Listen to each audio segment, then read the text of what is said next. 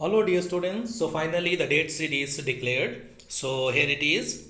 So 3rd of March 2022.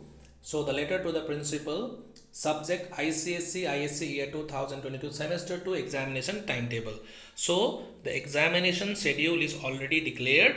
So here is the timetable for this one is for ICSE that is uh, for class 10 examination. So your examination is uh, starting from uh, 25th of April 2022 and it will end it will end on Friday that is on 20th of May 20th of May 2022 with commercial studies as the last exam and here again we have uh, ISC ISC timetable is also given over here. So your exam is starting on 25th of April.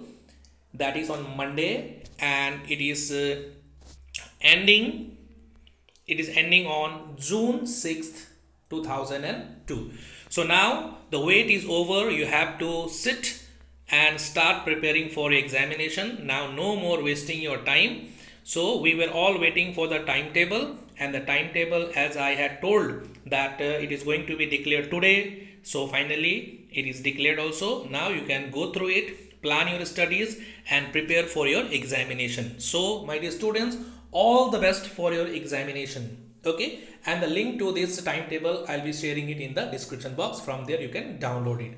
Thank you very much and please take care of yourself and gear up for your studies. Don't waste your time. Take care. Stay safe. Bye bye